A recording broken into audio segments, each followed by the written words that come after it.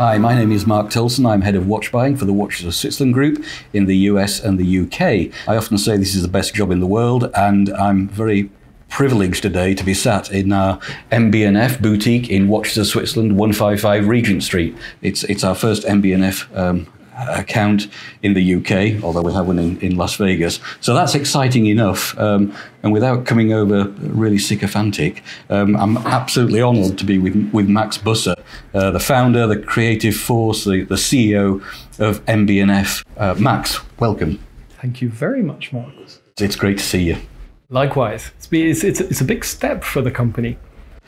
For us, it is, yes. Yeah, it's both, for both of us, it's a big step. Uh-huh. It's a rare chance these days uh, to actually meet um, a, a, living, a living watchmaker, a, a, creative force behind a brand. Um, you know, most of the brands that we, we deal with are, are, very old and very well established, and you don't meet Mr. Breguet anymore because obviously he's not around anymore. It's great to see you, and I want to start um, because uh, our, our, viewers and listeners um, may not know anything about you, so I'd like to kind of briefly start about your early life, um, your, your, education, your family, your, what, what kind of what kind of drove you towards watches? How did you end up?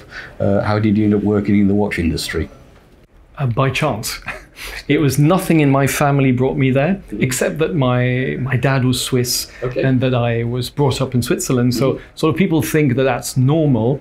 And I remember when I was 18, my parents said, "We want to give you a watch." It's a very Swiss thing, mm-hmm. and um, and they gave me a budget, which I think was in those days the equivalent of today's 500 pounds, which was enormous amount of money for them and for me. Mm-hmm. And um, and I went and asked people around. And one day I'm at university sitting next to a, a guy, and I'm like, "What are you wearing?" And he says, "It's a Rolex." I said, "What's a Rolex?" I'm 18 years old. Yes. So you see, nothing really prepared yeah. me for this. And um, so I I um, I was a very lonely child. I'm an only child, but mm-hmm. actually very lonely. Um, didn't have many friends. Was would have liked to have a lot of friends. It's not by chance that my brand is called MB&F, Maximilian Büsser and Friends. Mm-hmm. Um, was a bit of a geek. Mm-hmm. In days where being a geek was not at all sexy, right. and uh, I was programming my Commodore 64 for wow. those who remember, and um, and I dreamt at the same time. Well, that's maybe made me different of being a car designer. Okay. From the age of four to the age of 18, I was drawing cars, cars, cars, cars. Mm-hmm. And um, when I was 18, I decided I was going to become a, an engineer first, right. so that I could actually understand the engineering mm-hmm. of a mm-hmm. car before designing them. Mm-hmm. And so I did uh, Polytechnic in, in Lausanne mm-hmm. uh, and did a master's there. And during those years, I fell upon watchmaking. Mm-hmm. But not through the courses, even though it should have been. I always remember, we're talking of the late 80s, that um, in our microtechnology course, our professor gave us exactly two hours on watchmaking out of five years. Wow. And during those two hours, he told us, you probably will never be doing this because the whole industry is going to go bankrupt. But I'm just going to explain to you a balance wheel and a barrel. And I actually remember not understanding a word of what he was saying because it was so complicated. Um, no, but I actually sent out at some point. I did a um, how do you say um, uh, a thesis yes. on uh, mechanical watchmaking because I tried to understand why people were paying so much money mm-hmm. for such antiquated technology. Yes. and uh, and so um, that was I was probably in my early twenties uh, at the university, and I sent letters out to all the great brands, mm-hmm. and virtually everyone sent me back a letter saying well, if you come to this day, I'll, we'll give you an hour. The we was the CEO. Mm-hmm. Now imagine today a wow. student sending a whatever an email saying, "I'm doing a study. Do you have time for? Does your CEO have an hour for me?" Yes. These companies were so small mm-hmm. that actually they gave me each an hour. Wow. And I met the uh, CEO of Vacheron Constantin, mm-hmm. Jaeger LeCoultre, uh, Audemars Piguet, uh, Breguet. Mm-hmm. Uh, we're talking of 1989, I think, yeah. And um, Mr. Gerald Genta himself, mm-hmm. the head of yes. Oris's company in those days. And um, they all told me the same thing. They said, young man, we know what we're doing is pointless today, but it's so beautiful. Wow. And I was like, wow. Mm-hmm. For the first time in my engineering stu- studies, somebody actually talked about beauty. Yes. And not only math. Yes. And I was like, wow, wow, that's great. Uh-huh. And, um, and then they went on to say, look, we're probably going to all go bankrupt. But if that happens, whole generations of knowledge and mentorships of mentors to apprentices will disappear. How to do that Breguet curve at the end of a spiral, mm-hmm. how to do that, that interior angle, uh, hand finishing, etc. It's just going to disappear. And they, they talk to me about humanity, mm-hmm. and I just fell in love with that world. Amazing. But I never expected to work with it. Mm-hmm. Never. So I come to the end of my studies. I'm now interviewing with all the big companies, the Procter and Gamble's and the Nestle's, like go and get a, some corporate life. And um, one day I'm skiing with some friends. That's what we do in Switzerland. And in, in January, I always remember. And we stop at a cafe on the on the slopes. And there's the CEO of Jaeger LeCoultre who I'd interviewed. Oh, hello, do you remember me? Oh, yeah, I remember you. Yeah. Uh, what are you doing? Have a coffee with us? And he starts asking me, what are you going to do? Oh, P&G, Nestle, all that. He's like, okay. And at the end, I tell him jokingly, well, Mr. Belmont, uh, if they don't give me a job, you can always give me a job at Jaeger. He laughs, I laugh, and that's it. A week later, he uh, has me called up. He says, Would you like to come? Well, somebody says, Would you like to go and see Mr. Belmont? And I'm, sure. So I take my old. Uh, it was a. It would be called a Vauxhall Nova in this Yes, I country. know you mean. Uh, yes. and I, so I take that up to the Vallée de Joux, and there is the interview of my life. It lasts three hours, and Henry John Belmont, the man who's going to save Jaeger LeCoultre, Uh-huh. basically sells me his dream how he's going to sell that, save that company, not sell that, save that company, and. Um, and at the end, he says, "Okay, I need a young man like you, a young engineer who likes watchmaking. Uh, I'm going to create a job for you as a product manager." And I said, "Look, sir, um, thank you very much, but I have to think about it." And it was not my idea to go into a soon to bankrupt uh, industry in a small company, the Vallée de Joux. Yeah. And he said, You just have to know one thing in your life. Do you want to be one amongst 200,000 people in a big corporation? Or do you want to be one of the three or four people who are going to save this company? Wow. Yeah. Next day I called him up. I said, Okay. And that's the beginning of the story. Wow. That's incredible. It's a crazy, crazy story. Imagine what would have happened if I hadn't been skiing that day. Yes. If I hadn't stopped on that slope, Uh huh. I would be maybe selling Pampers today. and I, I wake Yeah, up screaming in the middle yeah. of the night thinking about that. Yeah. How how how faith Yeah. happens. It's incredible. And I'd have an extra hour in my day that I did, which, uh, which, uh, which, which wouldn't be as good as what's happening now. So you, you worked for Jaeger, and that's actually where I met you in, in, in the in the in the nineties. You stayed there for a while, and then, and then obviously you, you left. You kind of outgrew your role there, and you, and you went to Harry Winston. So uh, seven incredible years at Jaeger LeCoultre. Um, so I'm going to say Jaeger LeCoultre and I'm going to Yes. say Jaeger LeCoultre, so everybody can now start posting Uh-huh. after your video.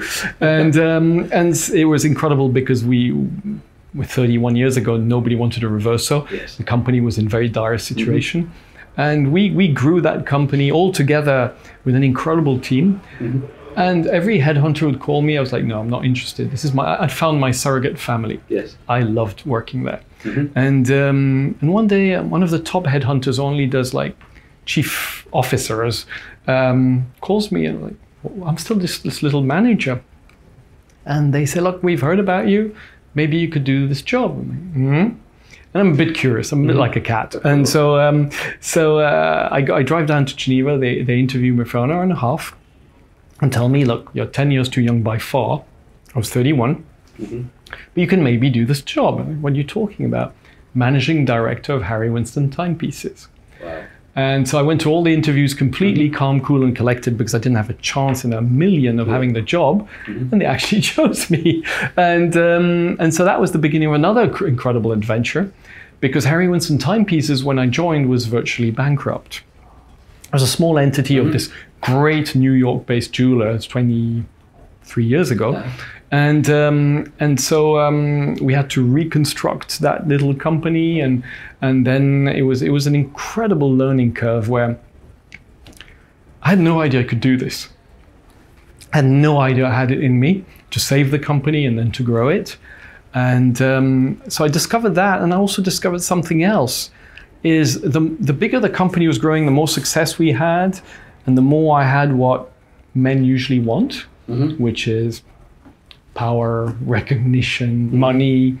And coming from where I come from, it was I never even dreamt of all of that.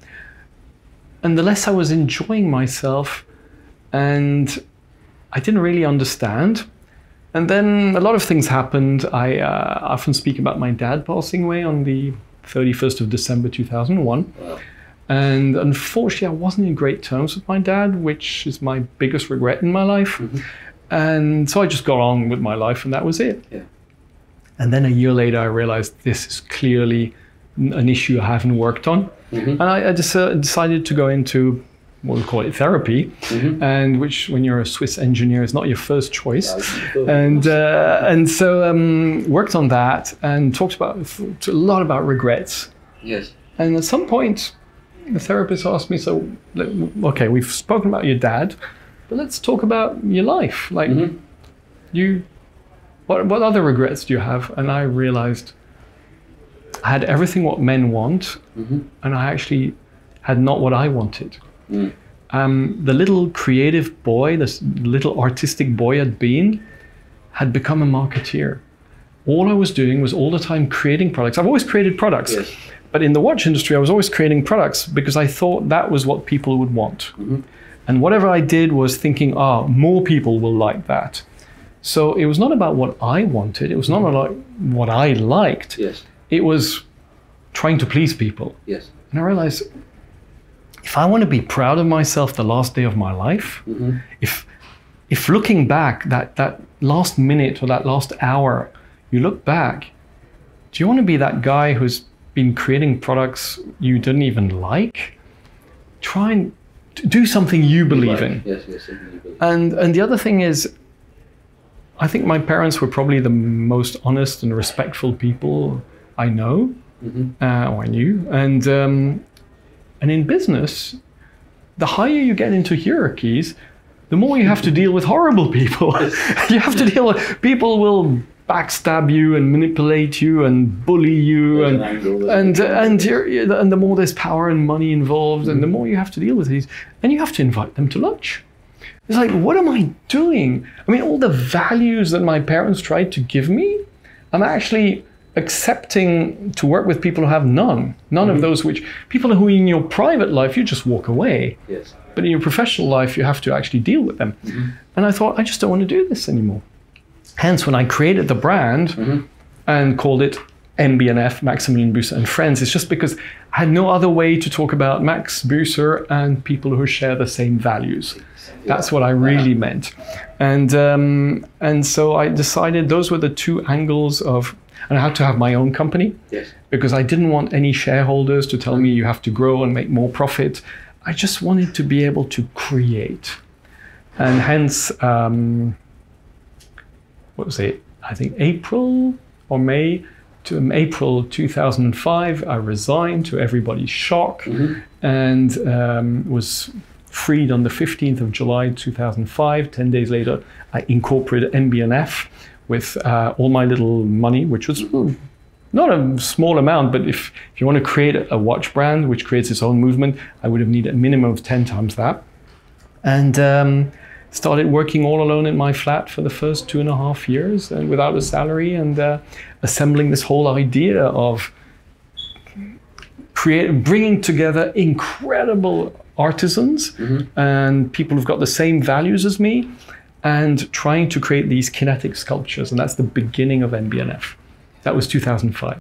Amazing, uh, amazing, and and I mean the, the, the and friends bit is, is a crucial bit, and I guess in some ways that that came from your time at Harry Winston, where you you worked with uh, you know Felix Baumgartner and and Jeremy Halter and yeah, François Peugeot. uh, all, and all, all those guys, and, and that carried through into into the into the MB&F. But then it was it was all about all about you and your, and your friends, as opposed to what maybe Harry Winston wanted, uh, or, or, or the direction of I'll Harry just put it this was. way: by by creating the Opus uh, at Harry Winston, I well before actually creating Opus, I, I started meeting all these incredible independent watchmakers of the AHCI, and um, they had one point in common.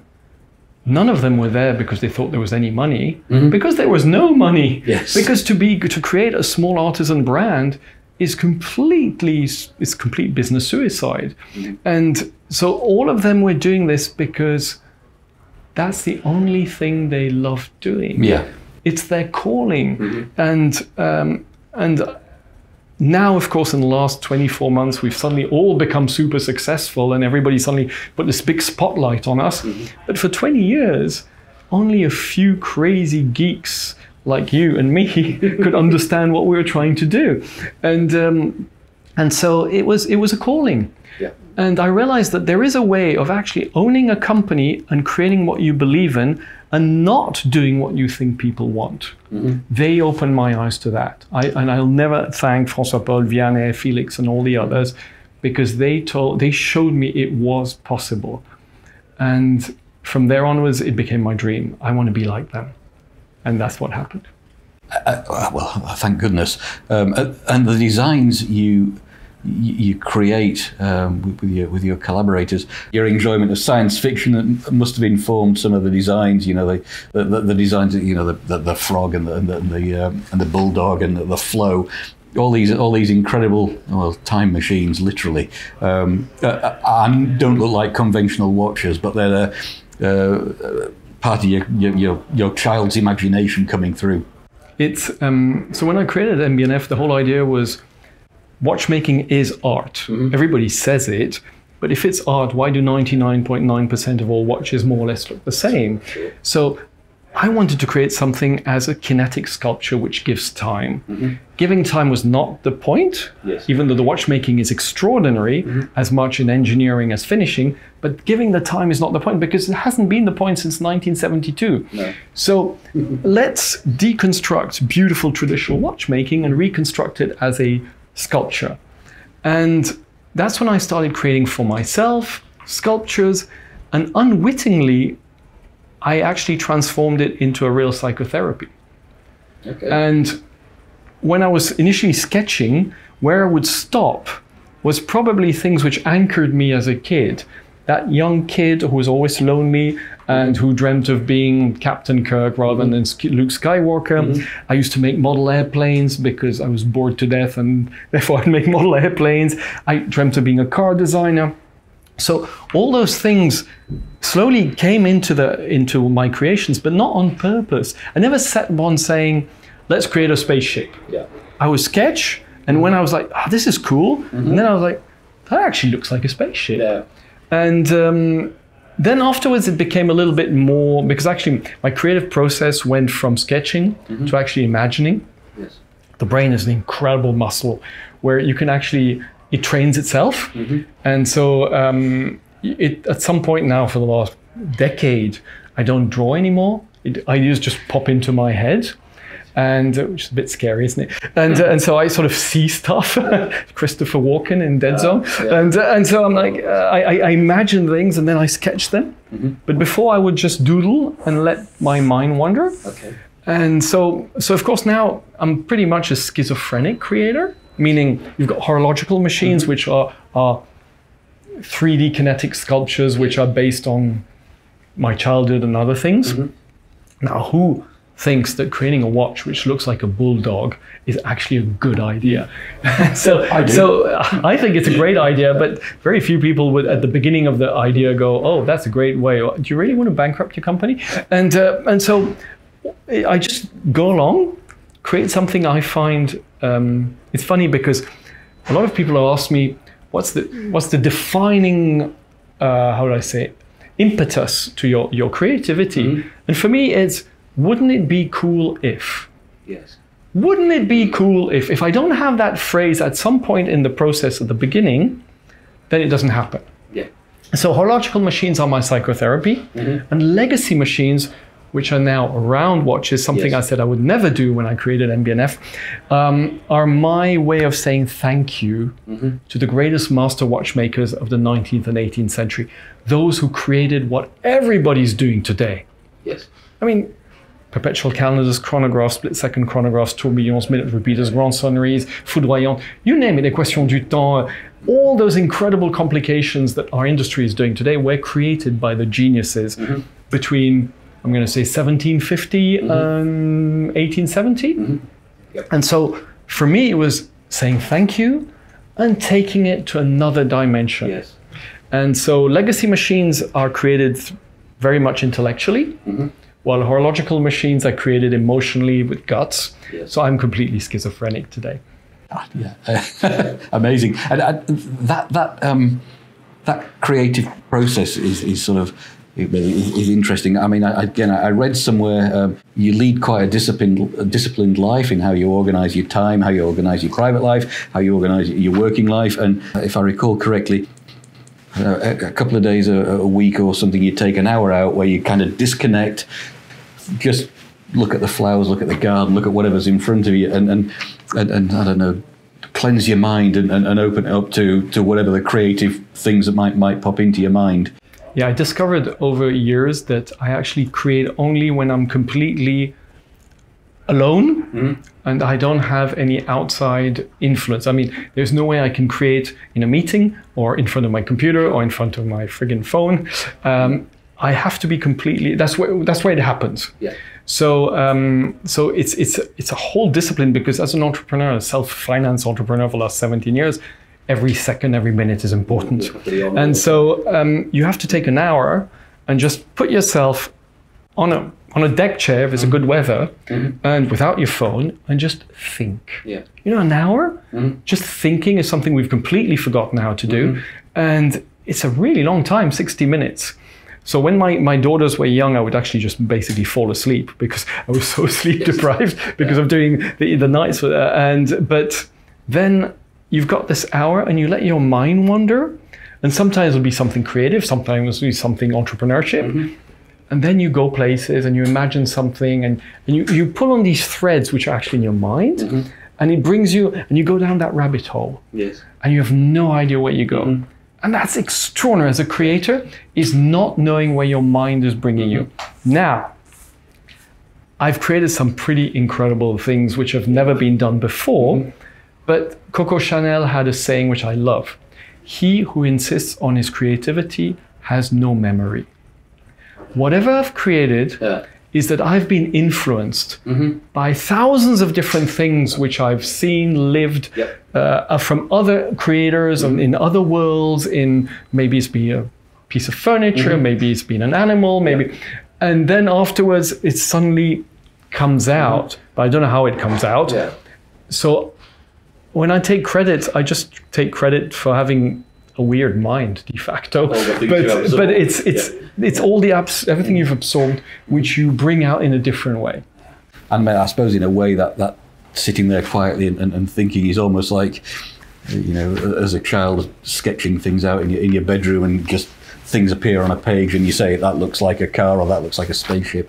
Um, so, so when, when you've had your idea and you think, oh, we, we could do a, a whatever, um, and it's probably a difficult question to answer, but uh, roughly how long can it take for the idea to become the finished article? I mean, particularly, I mean, you, you work with Stephen McDonnell on, on the on the Evo sequential chronograph. How, how, long did that take? And how did you imagine that? And how did you decide to work with Stephen on, on that? Is do you think, oh, he's a chronograph guy, or, or I don't know, kind of? That's a great story. Uh, it's a great question.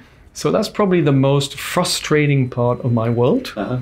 If you're a painter, as an artist and you have an idea, maybe three days, three weeks, maybe three months later, your painting, uh, except if you're maybe Leonardo da Vinci, but mm-hmm. your, your painting is finished.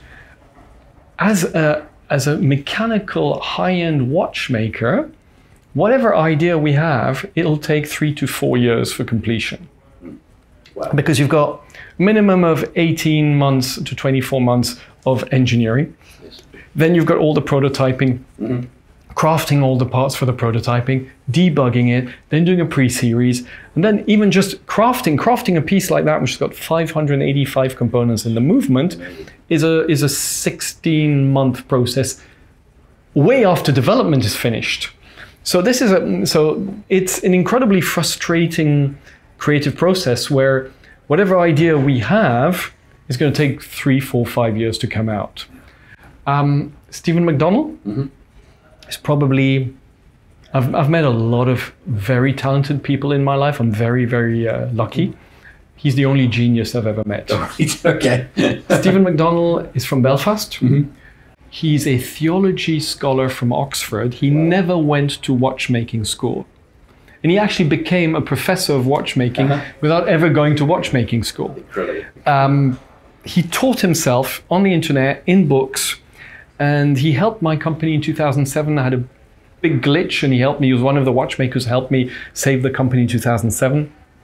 And then in 2011, um, I, I, met up with him and I said, "So, what would you like to do? Is there anything you've actually got in mind?" And he said, "I think I'd like to do a perpetual calendar." And I said, "Look, honestly, Stephen, never."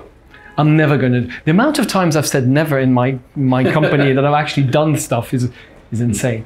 And um, and so um, I, I, didn't want to do a perpetual because they're so sensitive yes. and they keep on jamming and blocking and, and jumping the date when they shouldn't. Mm-hmm. And when that doesn't happen, the customer himself or herself presses the the the the, the button of uh-huh. the uh, the change of date mm-hmm. at the wrong time between 10 o'clock in the evening and 3 o'clock mm-hmm. in the morning because he hasn't realized and he jams the whole movement.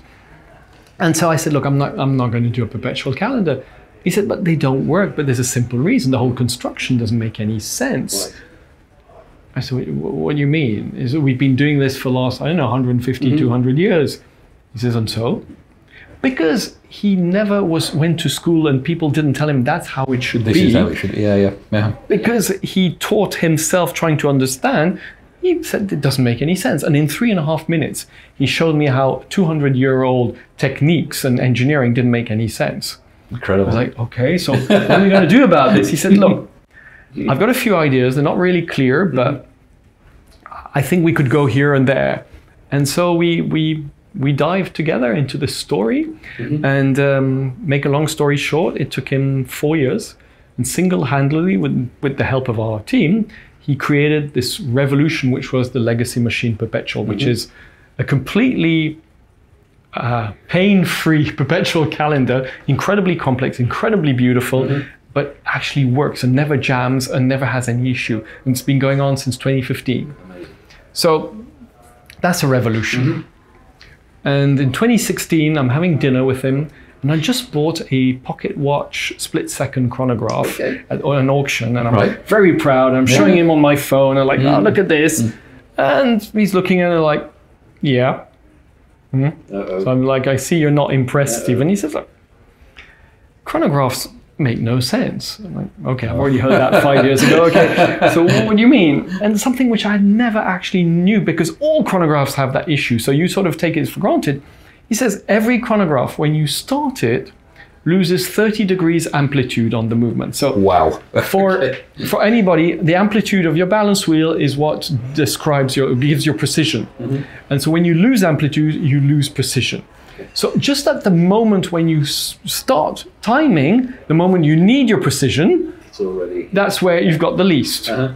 And there are many other issues. He said, don't start me on split second chronographs with all their the, the clutches. Mm-hmm it's an absolute train wreck as far as amplitude. So the whole timing of a chronograph is off at the moment you need it. I'm like, wow. okay. Um, so do you have an idea? I have an idea, but I'm not ready. This is November 2016. In January 2018, he comes to see us and he says, I think I've solved it. Now, this guy keeps on solving these insane riddles that nobody's asked him to solve, and he actually created the very first chronograph which doesn't lose a, a, degree of amplitude when you start it. And from there, uh-huh. he was able to create this incredible movement uh-huh. with two independent chronographs mm-hmm. which are linked together and independent.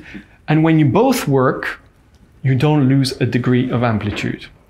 And on top of that, because of all that incredible innovation, he's actually created four functions, which has never, so two of them have never been in a, in a mechanical chronograph, and two of them have, but in separate if you had two chronographs. Mm-hmm.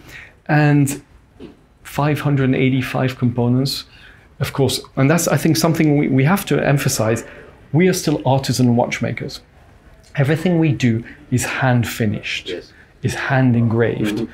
You've got hand engraving, all the interior angles, all the angling is done by hand it's still something which is, I think we're a handful of artisans which still do that because that's the watchmaking I fell in love with yes. 31 years ago. So yes. we continue that. So not only is it a feat of engineering, it's an incredible piece of artisanship. And so we're, we're hoping to craft three to four a month. And um, the waiting list, and I'm sorry to talk about that, are just insane. But um, that is why I entered this this world 30 years ago. That's why I fell in love with Uh-huh. it, and that's what I want to continue doing with MB&F. And that's that's the beauty, isn't it? Not not, not the not the commerciality. It's the beauty that got you into it, and, and, and it's it's an extraordinary looking timepiece. It really is. It's it's just amazing. Um, and, and other other extraordinary things that you, you do your collaborations with with L'Epée, for example, um, a Rouge for uh, uh, another, and then. Um, and then works you've done with uh, with uh, with H Moser, with uh, with Bulgari, uh, all those uh, sort extended collaborations. But but I love some of the L'Epée clocks you do. I mean, I think the Balthazar and and, and, and sort of the, the things that look like space stations are just incredible. And the T Rex is, is, is is a beautiful thing, and it's they're incredibly imaginative. And again. I, well, I say I don't know how you come up with these things, but um, we're really, really glad you do. Um, and we've, we've got some examples in, in, in our store, and it, uh, they're, they're quite fantastic. I just wondered briefly um, how you feel about the the kind of rise of the independent watch brands. You know, um, over the last well, so since uh, since the late nineties, early two thousands. You've got the uh, uh, Richard Mille, Richard Mille, um, uh, Greubel Forsey, etc., uh, and yourselves, all, all developing and all um, all challenging, I suppose, to a certain extent, the, the, the, the orthodoxy of traditional watchmaking in, in their own way. And 20 years later, they're all still here and and um, and growing in importance uh, and, and, and, and and prestige and desirability. Um, I mean, it, it's we're glad. I mean, we're, re- we're really glad about that. It keeps it, it keeps the whole industry um, interesting and uh, invigorated. It's interesting because um, it's true that most of us started in the, I was going to say 1998 to 2005. That's um, where this whole new current of contemporary watchmaking started. And you know, um, artistic currents usually start in opposition to the previous current. Right. and uh, and so we'd we'd had the resurgence in the early 90s um, to 2000 of this classic watchmaking, which was had been saved. Yes. So we all went to get the tourbillons and minute repeaters and the perpetual calendars and the chronographs, which basically what had been done in pocket watches we made smaller on a wristwatch sort of thing. And um, and there were a few of us, a handful, who said we want to explore something else. And, and if you take typically the François Paul Journes and, uh, and the Urwerks and the Greubel Forseys, all of us did that, again, not because it's a business, because there have been some pretty tough years for all of us. And there were, there were no clients out there because, of course, it's a bit scary to come and give that amount of money to a small brand which you don't know if it's going to be there next year or in five years and who's going to take care of the after sales service and and a lot of people are very status oriented. Mm-hmm. And when you wear an MB&F even today 17 years later 99.9% of people have no idea what it is. You won't get mugged on the streets. That's a good thing. And and so you you realize that the sort of typology of customers we found were real watch lovers. We're really people who were right up on the food chain in knowledge and didn't care about showing off. They were about we fell in love with this product, but also this reason why we create the brand and why we're entrepreneurs. The why is very important, and um, and they they were also um, they were patrons of us, of all of us. We couldn't live without those patrons. And I often say, for many, many, many years, close to two decades actually, I felt like a very lonesome dolphin in the middle of the ocean where I, I'd send my little sonar out and there are millions of fish who don't understand anything. And from time to time, the beep would come back and somebody actually got it. And, and so um, that's been going on for since the early 2000s. And now, in the last two years, I don't know, the, clearly the whole moment of COVID, there was an insane acceleration mm-hmm. where the spotlight suddenly was put on us, not from us, Yes. because we didn't have more means. Mm-hmm.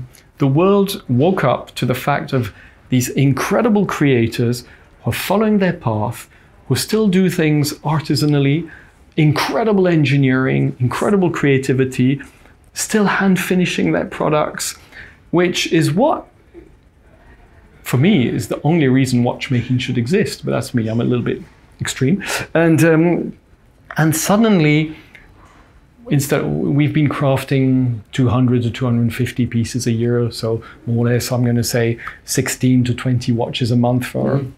better part of the last 10 years. And suddenly you've got thousands of people saying i want what you're doing. Uh, like first you were a little bit shell shocked mm-hmm. and then afterwards you're like now how do we deal with this? Yes. And we are who we are because we're a small company yes and we are who we are because we assemble these incredible people. Mm-hmm. And if we start growing and hiring more people and hired guns, that is going to go mm-hmm. to pots. So we want to keep who we are. Remember, the reason I created MB&F is to be proud. Yes. And that pride is necessary. Mm-hmm. So um, it's going to be interesting. Yeah. Because for all of us independents, this demand has also led to also unfortunately speculation mm-hmm. and secondary market insane prices and so on. And now our big part of our job, which used to be trying to find somebody who actually liked what we did or understood what we did, has now become in making sure that what we do goes into the right hands. Yes. And the right hands is people who actually love what we do for the right reasons, mm-hmm. meaning not because you can resell it yes. with money, but because you actually want to wear it and you understand what we do. And um, it's very weird, and I, I, I'm not happy about it. I'm not happy about the fact that we suddenly have to decide who is worthy or not. That mm. seems so wrong in so many ways. Yeah. Um, but that's what we have to do today. Yeah. Is make sure that it gets into the right hands mm-hmm. of people who are actually going to nurture what we spent thousands of hours and decades now because we're getting to the end of our second decade trying to achieve. I, am convinced um, uh, this is the evils of social media and Instagram culture that people can instantly see things that they never thought. You know, by following somebody, they can get exposed to to to brands that they um, they would have normally taken years to find out about, or, or maybe never even find out about. And and I think that probably what spreads the word, and it's a good thing because it attracts people. But uh, on the on the other hand, it does give you the problems you, you have in terms of uh, waiting lists and, and uh, to a certain extent playing God with the clients, which is uh, an, uh, an unenviable task, I think. Social media has really changed our whole landscape. It, it certainly it? has. Yes. First of all, initially I was thinking, oh my gosh, it's basically unif- how do you say uniformizing? No, uh, no. It's everybody suddenly had the same taste. Yes. Everybody wanted a 5711 mm-hmm. with a blue dial, and everybody wanted that Rolex, and everybody. When before social media, in Japan, people liked watches like this, mm-hmm. and in the US like that, and yeah. maybe in the Middle East like that, and in, in Europe like this. And there were like tribes everywhere, mm-hmm. and everybody had their different tastes and their different brands, mm-hmm. and, and and it was been going like that for decades. And suddenly everybody wanted the same products. So I was thinking, oh my gosh, this is like it's pasteurization. Like you Mm-hmm. know, it's a you, everybody's got the same taste. Yeah, yeah. But actually, what happened is in parallel to that, tribes on social media arrived. And so we started having this incredible voice. I think MB&F has got like 290,000 followers, all organic. We've never bought a follower. Uh-huh.